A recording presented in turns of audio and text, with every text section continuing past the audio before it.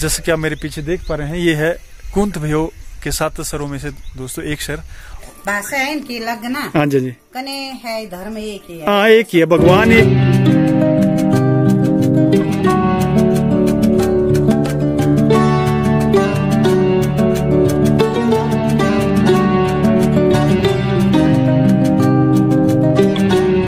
ध्यान रखे तुसे अपना ना। हाँ ठीक है। घूमने जा यह पता नहीं कुछ पता लग। रहा केड़ी मछली।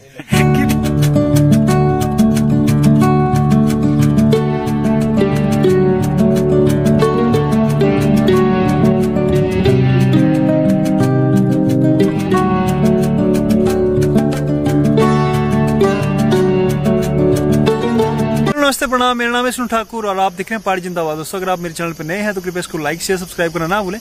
और दोस्तों, मेरे साथ आप देख रहे हैं गौरू मारा ठाकुर और प्रियंका ठाकुर। हम जा रहे हैं दोस्तों घूमने और फ़िलहाल हमारा प्लान है दोस्तों रिवालसर। रिवालसर के बाद हम जाएँगे नैना माता मंदिर, जो कि लोकेटेड है मंडी डिस्ट्रिक्ट में।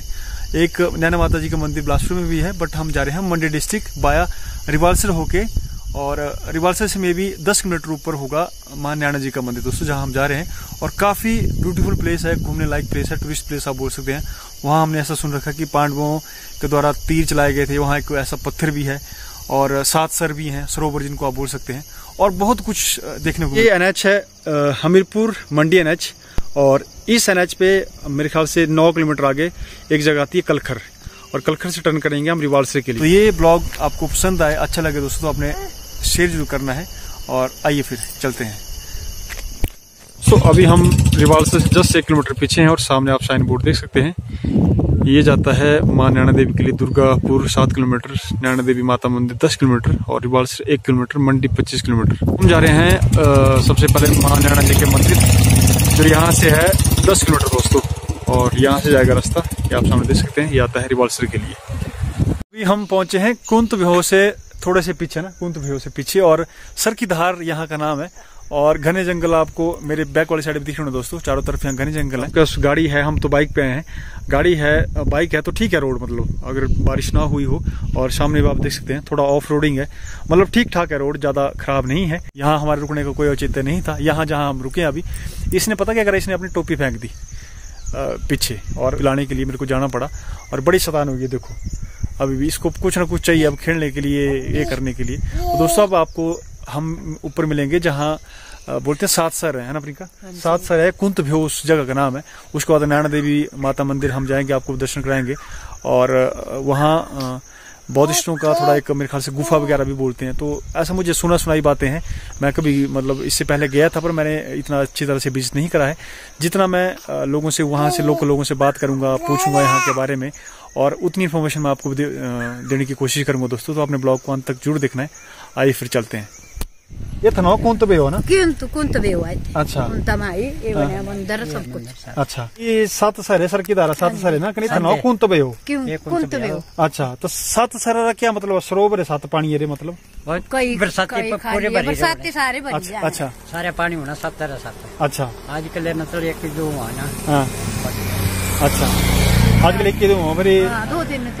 बने की है ये सारे जिला की है बनी यो बनी रे कुंती माई अरे टाइम मारी बनी रही है कुंती माई थी हाँ। क्या पता क्या गल्ला थी क्या नहीं पांडव वाले टाइम मारे मतलब कुंती माई। टाइम मारे तीर भाई अच्छा अच्छा तीन तू से क्या सुनी रहे सारे बारे भी क्या की है बने हो हाँ सर क्या सुनना है चाहे आगे आगे जमी रही यहाँ सर बनी रे रे रे पर ये मतलब ये ठीक कुंता माई ये भाई शो खड़ गया था ना किसी को हाँ तो तीर मारे पे नथौड़िया पान पीस का नाम रखा गया नथौड़ी नथौड़ी नकथौड़ी हाँ, फिर ये थी- नकथौड़ी सो में नकथौड़ी है? हाँ। हाँ, अच्छा अच्छा। फिर ये ना। हाँ। ये फिर दो सौ सर। हाँ। फिर दूध निकलना पानी। अच्छा। फिर ये जगह ये थी थल्ले की?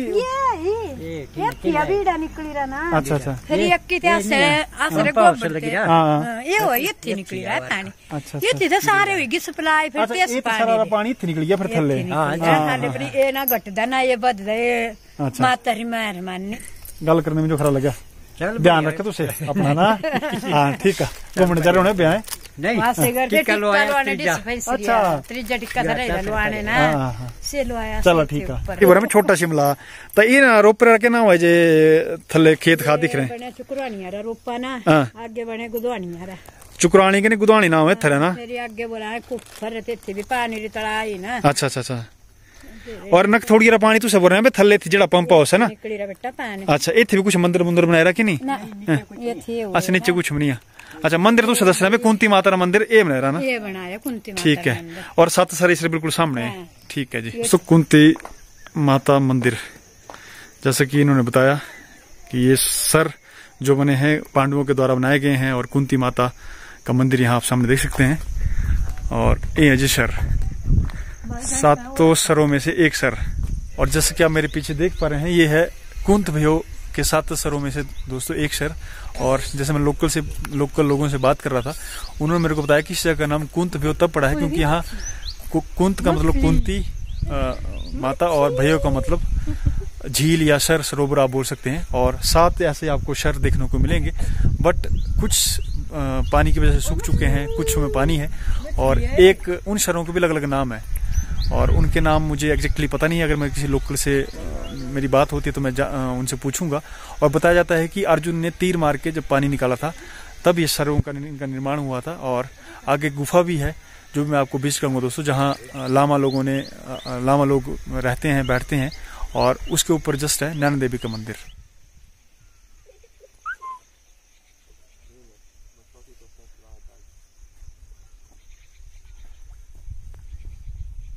गुरु देखो मछलियाँ, कहाँ है मछलियाँ? देखो। यह पता नहीं कुछ पता नहीं लग रहा केड़ी मछलियाँ कितनी मछलियाँ?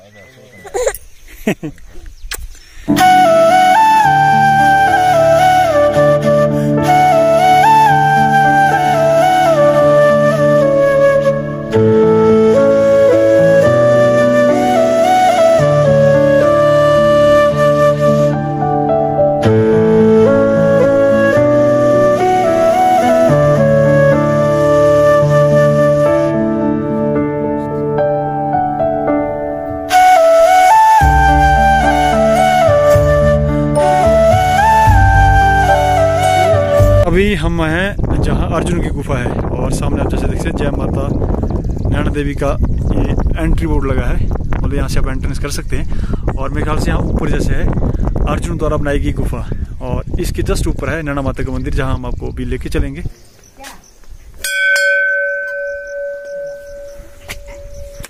किधर जा रहे ब्रिंका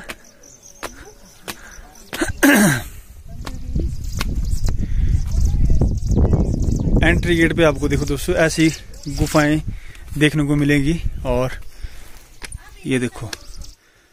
आह, खूबसूरत नज़ारा। बारिश मानो आने वाली है, ऊपर आप जैसे बादल देख रहे हैं, और नीचे ये कुछ सूखे हुए सर हैं दोस्तों। मतलब सरोवर हैं, झील है। शर का मतलब सरोवर, जैसा कि आप सामने देख पा रहे हैं, और कितना सही लग रहा है देखने में। वाह।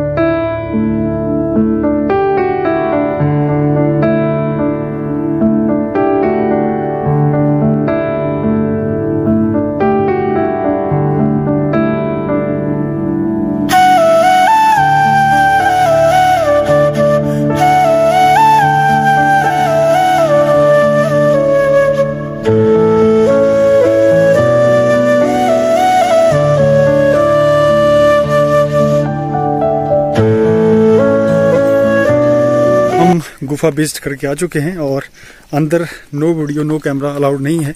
और फ़ोटो भी नहीं खींच सकते। बौद्धिस्टों की मूर्तियाँ रखी गई हैं बनाई गई हैं और मूर्ति का नाम है पदम पदम शंभव नाम करके बता रहे हैं और बौद्धिस्ट ही है यहाँ दोस्तों। हिंदू टेंपल नहीं है।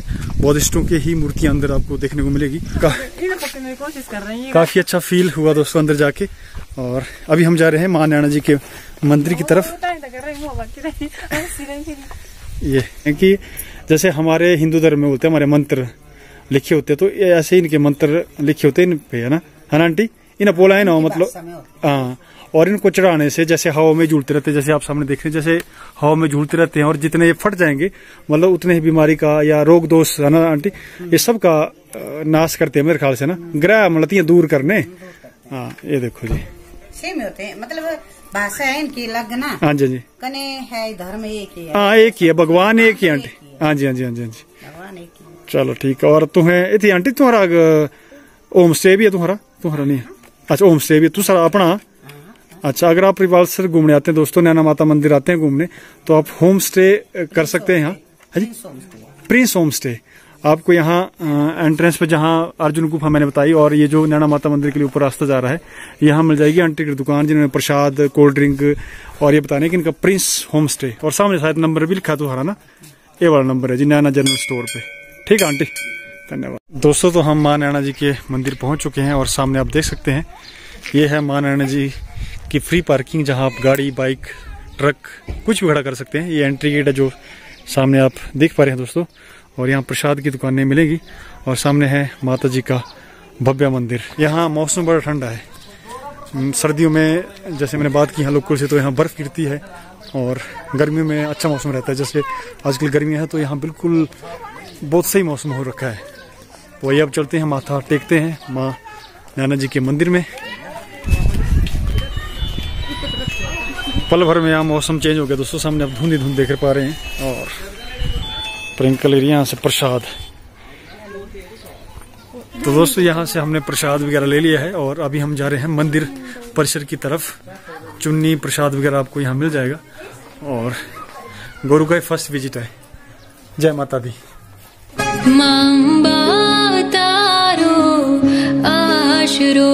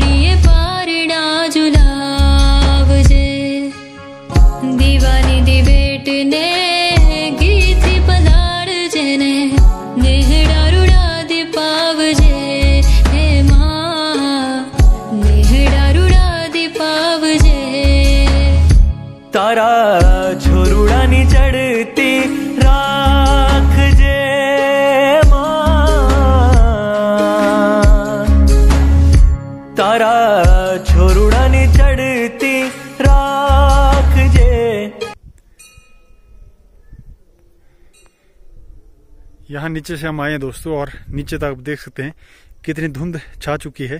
हालाँकि मौसम बारिश वाला है बट यहाँ का मौसम पल भर में बदल जाता है। आप सामने जैसे देख पा रहे हैं ये देखो। गुरु की दोस्त मिल चुकी है और इसके साथ खेल रही है कि छोटी जैसी बिल्ली म्याऊ। खेलो इसके साथ। खेलो। ये देखो। गोल करो इसको। ये देखो कैसे डरा रही है इसको। ये बड़ी शतान होगी गोरू।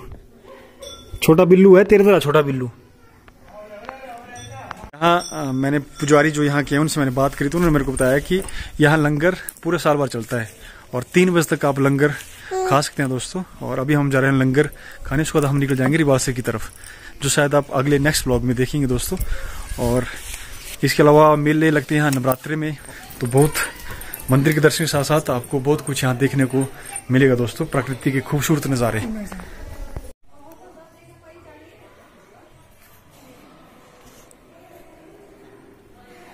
अच्छा बर्तन, थालियाँ, गिलास खुद ले सकते हैं जैसा प्रियंका ले रही है।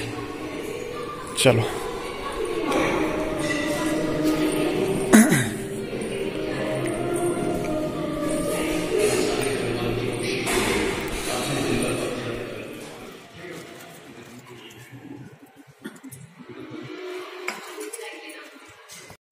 खाना खाने के बाद दोस्तों आपको बर्तन खुद धोने पड़ते हैं और ऐसा कुछ यहाँ व्यवस्था है।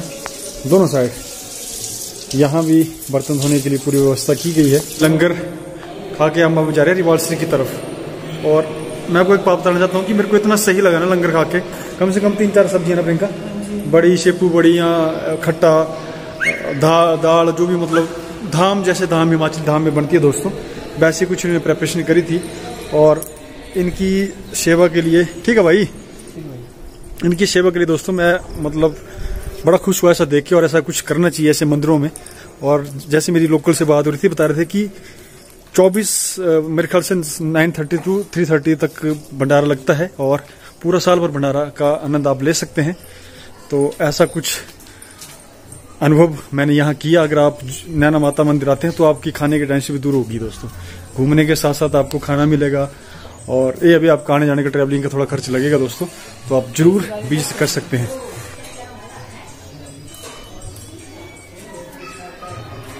यहाँ आप लंगर की बुकिंग जागरण बुकिंग विवाह बुकिंग पूछताछ कक्ष से सामने रहा दोस्तों और नंबर ये दिए गए प्रधान जी का सचिव जी का और लंगर प्रभारी का। आप इनसे कांटेक्ट कर सकते हैं और ये सब कुछ कार्यक्रम यहाँ आप करवा सकते हैं। भीड़ दस से एक दो बजे तक तो काफ़ी भीड़ होती है वैसे भी डेली अच्छा।